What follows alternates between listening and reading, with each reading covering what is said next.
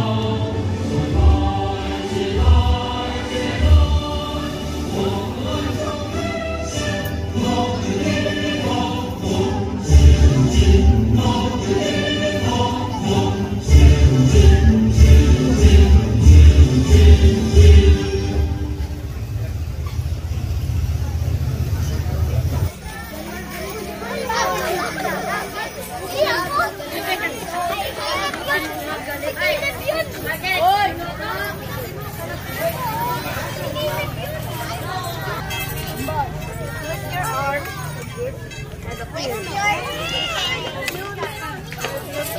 Tapos yun o.